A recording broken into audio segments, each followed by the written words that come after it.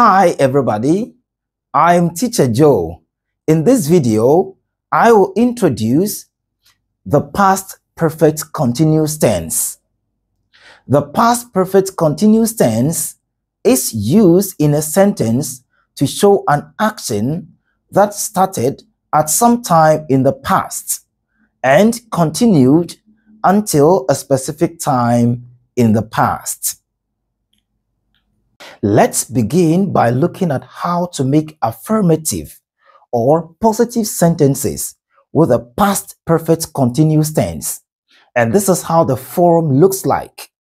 We have the subject that is I, you, we, they, he, she, and it, plus two helping verbs that is had plus been plus the present participle, which is also known as the main verb plus ing and plus the rest of the sentence. Let's look at some examples. Number one, I had been reading a book for two hours before I fell asleep. In this sentence, the subject is I, plus the two helping verbs had, plus been, plus the main verb read, plus ing, or the present participle, plus the rest of the sentence. Number two, they had been watching TV all evening before they realized it was midnight. In this sentence, the subject is they, plus the two helping verbs had, plus been, plus the main verb watch, plus ing or the present participle, and plus the rest of the sentence. To make negative sentences with a past perfect continuous tense, we put not between the two helping verbs. And this is how the form looks like.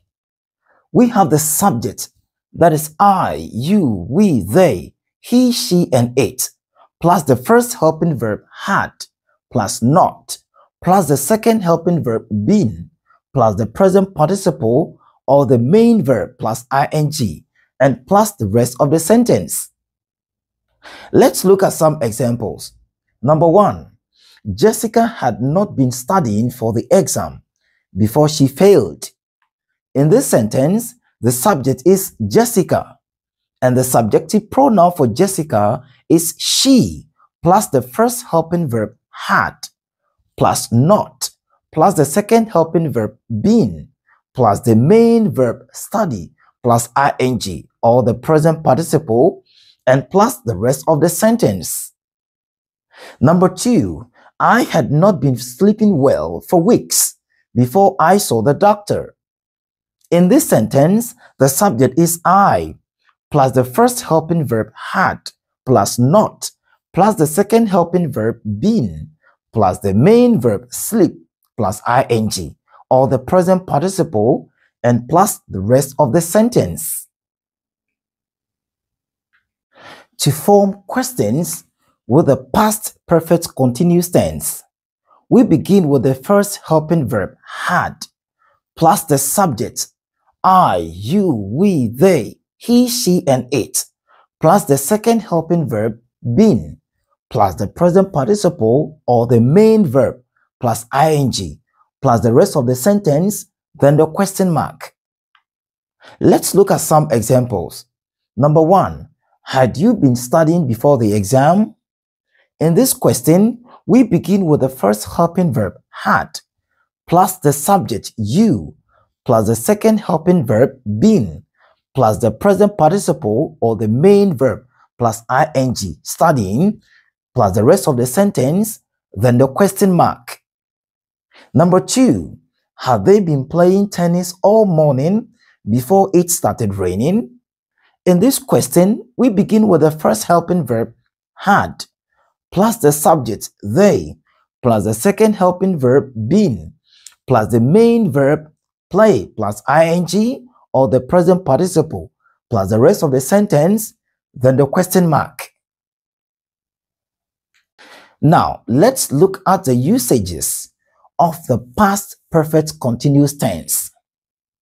The past perfect continuous tense can be used to talk about an ongoing action in the past that continued up to another point in the past.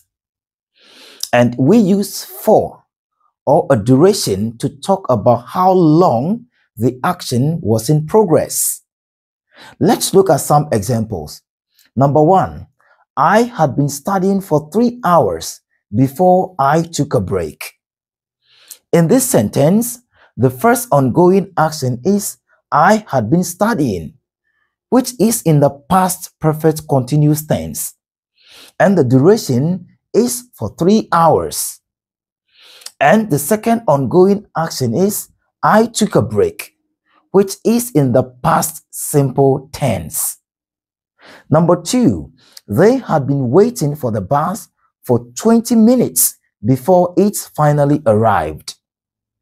In this sentence, the first ongoing action is they had been waiting, which is in the past perfect continuous tense, and the duration is for 20 minutes.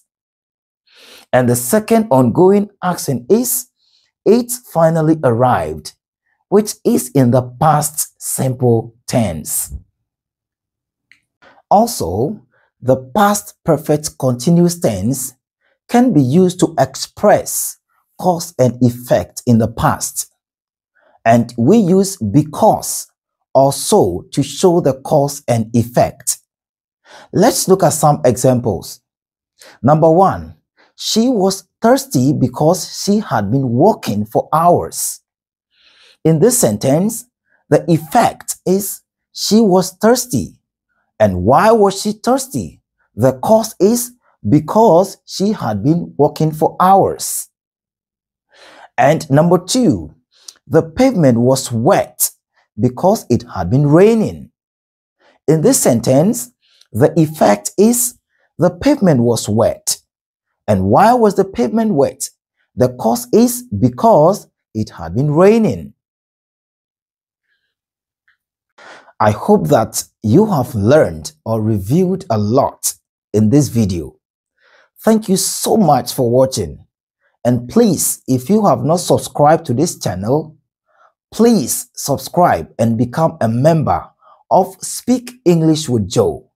And not forgetting to like, comment, and share the video as well.